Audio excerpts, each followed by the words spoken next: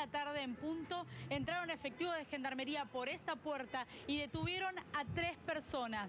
Una de ellas tenía pedido de captura, Sandra, Pepe. Era un narcotraficante que la gendarmería lo venía investigando y siguiendo desde hace tiempo. Eh, fueron tres los detenidos, toda la gente que estaba alrededor de la zona donde pudieron capturarlos empezó a sacar fotos y se vio reducidas a tres personas en el suelo. Dos eh, hombres y una mujer. Eh, todos creyeron que se estaban llevando detenidas estas tres personas. Bueno, no.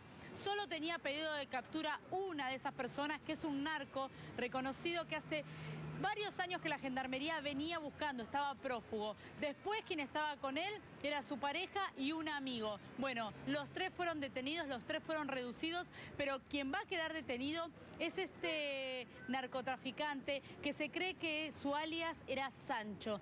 Eh, pertenece a una banda de narcotraficantes que quien lo nombró primeramente fue el padre de Candela. ¿Se acuerdan la chiquita que fue secuestrada y luego asesinada en Ituzaingó? Bueno, ese, ese episodio dio por primera vez el nombre de Sancho, lo nombró el padre de Candela. A partir de ahí se abrió una investigación y este hombre participaba de una banda que traía droga desde Perú, Bolivia a la Argentina. Hoy terminó con su detención acá en el medio del shopping por gendarmería.